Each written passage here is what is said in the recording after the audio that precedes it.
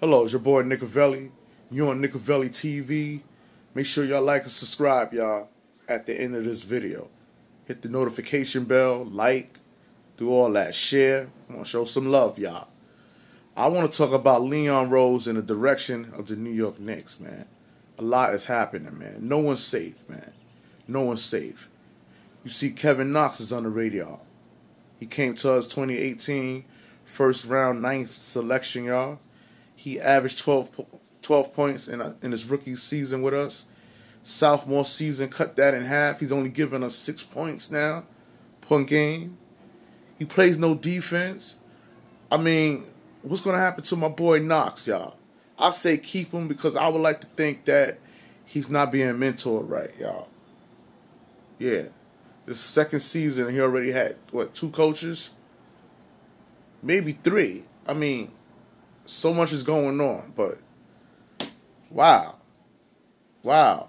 Then we got my boy Mitchell Robinson. We can't let him go. He's the rim protector, y'all. He's knocking everything out of sight. You know what I'm saying? We got to hold on to him. Then we got R.J. Barrett, the Canadian sensation, which some say, you know, he would strive better at the two position. But, you know, some of y'all don't even have faith in R.J. Barrett. When we speak of this guard, Victor Oladipo, some of y'all want Victor over R.J. Barrett.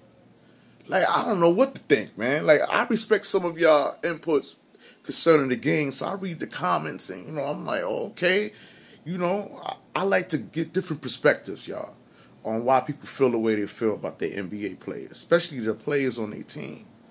But is Leon Rose looking for the best interest in the New York Knicks? Or is he going to fuck up the chemistry, y'all? You got Bobby Portis, who's a vet I felt he, you know, Bobby put in work.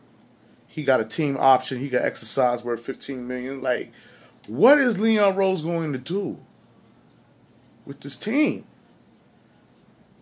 My boy Alonzo Trier, is he going to be the New York Knicks six man coming off the bench? He been mixing in action. Like, he hasn't had a role as of lately. You know, like, once again, where are the Knicks going? Are we gonna go for our trades? Uh, trade like like what are we gonna do concerning the draft? Are we gonna go young? Or are we just gonna look for has been star players who's injury prone? Some of y'all don't want Victor Oladipo. Y'all say he's injury prone. We don't need him. He get hurt too quick. Keep RJ. Don't give up on Kevin Knox. Frank Ntilikina defense. Yes, it's superb. But is he going to give you buckets on the board? What are we supposed to do, y'all? Huh? What are we supposed to do? Who's safe and who's going to get cut? It's simply what I'm saying under Leon Rose, man. It's, it's, it's just mind boggling, man. Even down to our coaches, man. Who's going to coach the Knicks? Who's going to coach us? Huh? You got Mike Woodson. He's in selected. I, if I'm not mistaken, I even heard Pat Riley, uh, Raymond Felton want to jump in. Like, I don't know. This is too much. Every time I read on the New York Knicks, something new could happen, might happen. I mean, I need your help on this one.